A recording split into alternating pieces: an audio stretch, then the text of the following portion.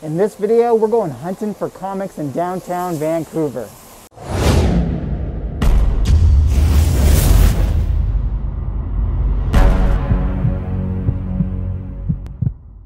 Ladies and gentlemen, welcome back to another video with Swaggle And in this video, I got a comic book haul to show off to you guys because this weekend I was able to go out and hit up a couple shops in Vancouver and uh, I got some pretty, pretty cool stuff. And I was able to visit a really cool store known as Golden Age Comics and Collectibles in downtown Vancouver. And uh, I was actually able to film in there. So uh, in this video, we're going to do something a little bit different where I'm going to show you guys a little bit of my journey digging through some of the books. And uh, hopefully you guys enjoyed that stuff. But before I get into the books that I got and that footage, if you guys could drop me a like or a comment or subscribe if you're enjoying my content. Love interacting with you guys. Help support the channel. Do one of those things, and I would really appreciate it. All right, with that being said, here is my visit to Golden Age Comics and Collectibles.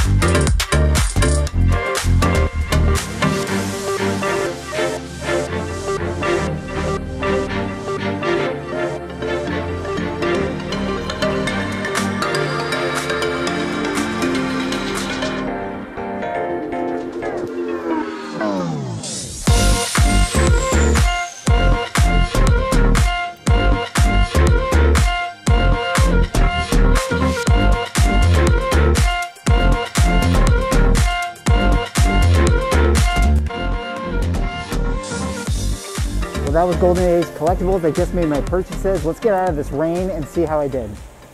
All right, well, I hope you guys enjoyed that footage. Uh, it was really fun going to that store. They had a lot of awesome stuff, a lot of really, really cool books. There was some stuff that I decided not to get, although, you know, maybe I'll go back and, and pick it up at, a later date. But I did pick up a bunch of really cool stuff, and uh, I did want to show it off to you guys. So uh, I, I, think you could tell from the footage, there was one book that, you know, I, I definitely had my eye on, and uh, this is probably by far the coolest one that I was able to get. And that is actually a Strange Tales 111. And for those who don't know, this is actually the first appearance of Baron Mordo and the second appearance of Doctor Strange. And for that reason, the fact that it's the second appearance of one of the most A tier uh, superheroes of all time, uh, Doctor Strange, or at least you know maybe of all time. I don't know. I, I, think Doctor Strange is just becoming you know one of the big big characters within the pop culture space. I feel like he's really on the come up overall uh, with you know the awareness because of his movies uh, and Benedict, Benedict Cumberbatch's like portrayal of him. But being that this is his second appearance, and not only that, this is the first appearance of Baron Mordo, one of his ultimate you know rivals. I feel like this book is extremely undervalued. The fact that it is, is, is such an early Strange Tales old book, and the fact that it has those two notable things, and not to mention that, it is the first appearance of Asbestos Man. And we all know how much, you know, everybody loves Asbestos Man as well. No, uh, jokes aside, like the fact that, you know, it has those two factors in it, uh, I think is really awesome and totally undervalued. And you can see from the price, it was listed at 195, but it, but you know that's Canadian dollar. So for the, for those Americans out there, uh, this was actually 150. So I was able to get get this for 150. And, you know, I went, you know, you know me, I went onto eBay, I looked at the prices, I did my homework, and overall 150 to get this book is as low as you're ever going to hope to do. Uh, and for that reason, I'm really excited to have this because you know this isn't something that I was necessarily actively hunting, but when I come across books like this uh, for deals that I feel are you know under FMV, I'm I, am always going to pick them up. Generally speaking, I'm, I, just am because when we get Doctor Strange 2, we know that Baron Mordo is going to play a role in Doctor Strange 2. When we get that, this is going to be a extremely desirable book, and people are going to be hunting this. I mean, if I were if I wanted to put this onto eBay today, I would instantly make my money back and and some. Um, so for me, it's like whenever I can find books that are under FMV and there's a, a chance for me, if, if I want to sell it that day, uh, and make my money back uh, to me that's always a good purchase. That's how i feel about the books that i that i pick up. And so for that reason this is one that i want to get and i'm going to hold for you know the year. And when we get doctor strange 2 uh, i believe next year when we get it uh, i'm going to probably move on with this book and cash in on that equity. And then that's going to be some of the stuff that i use to get you know other books that i want. Or you know maybe uh, after we get doctor strange 2 i'm going to be obsessed with baron mordo. But regardless i think that this was a really really cool pickup and i'm super super excited to have this in my collection. And uh, when i eventually go home, uh, this one is definitely definitely going on the wall. So Strange Tales 111. All right, some other books that I picked up here. Um, that are very cool. I came across another copy of Tales to Astonish number 90. Of course, this is the first appearance of Abomination, and I got this for $20. So uh, if you guys are out there hunting this book and you know like what, what some of the prices are at, uh, typically speaking, right now this is a book that's being sold at the $60 mark, maybe 65, 70, depending on the depending on the grade. Uh, so this is another one that you know when I came across it, even though I already have a copy, I figured I should pick up another one. $20. Once we get She-Hulk and Abomination showing up in trailers uh, I'll definitely move this book on and uh, you know let let uh, someone else have it and, and take some of that equity and move it on into other stuff that I want. Uh, speaking of Doctor Strange, another cool book I had found here. Uh, this one I got on spec. This one was just a couple dollars, but this is Doctor Strange 81. And what is the significance of this? Well, this is the first appearance of a character known as Rintrah. And Rintrah is kind of like he becomes like this weird he's this weird creature that is a, you know, assistant to Doctor Strange. And this is one that I got because uh, I happened to see a Doctor Strange cartoon that had Rintra, Rintrah in it, and uh, for me, like you know, all of a sudden I was uh, immediately a fan of, of this character. But there has been rumors that Rintrah might show up in Doctor Strange too. So this is one that I figured, you know, hey, it's a couple a couple dollars if in fact we get that character that's going to play like you know one of Doctor Strange's assistants. If in fact we get that character, uh, this was you know one of those books like you know we've seen with the numbers of WandaVision and Falcon and Winter Soldier. Uh, this is a book that'll easily go to like that fifty dollar range. You know, for getting a character being represented on the screen. So this was one I thought was really, really interesting, and I figured, hey, I should definitely pick it up. Uh, another book I got here, which was this was probably next to the Doctor Strange book. This is the second coolest book that uh, I found, and that's because there's a little personal story here.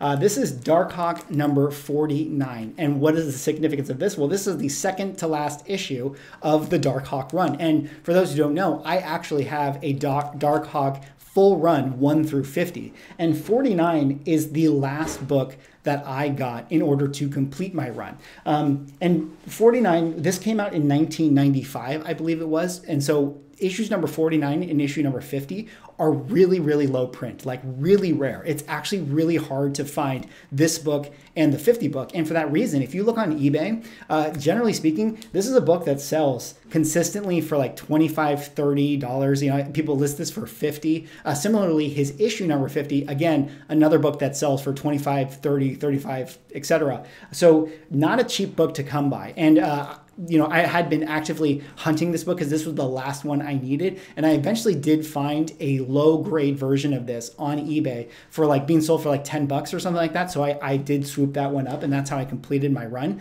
Uh, but I came across this book, you know, in a bin and being sold at, you know, two, $2 US dollars. Uh, and Darkhawk 49, this is a much better copy than the one I have. Uh, but for that reason, I feel like I could even flip this book, you know, because this is this is a book that sells for $25. So, you know, just again with the, with these types of things, if I bought this for a couple dollars here and I could sell it for 25, it pays for a bunch of the other books that I got. Uh, so I don't know. I thought this was cool. I'm a huge Darkhawk fan. Uh, and this this book will always have a special place in my heart because it is the last book that I found to complete my run. So uh, 49 had to pick it up.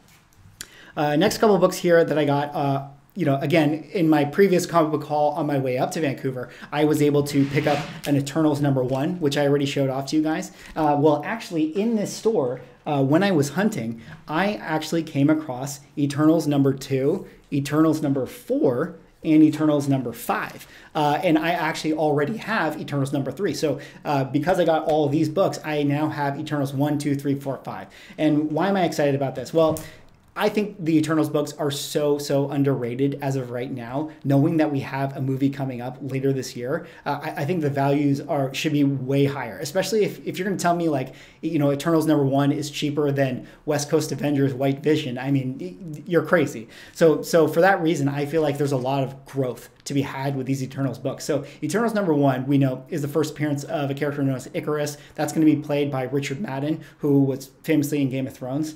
Well, Eternals number two is the first appearance of uh, the character that uh, Salma Hayek is going to be playing, as well as this is the first appearance of the Celestials.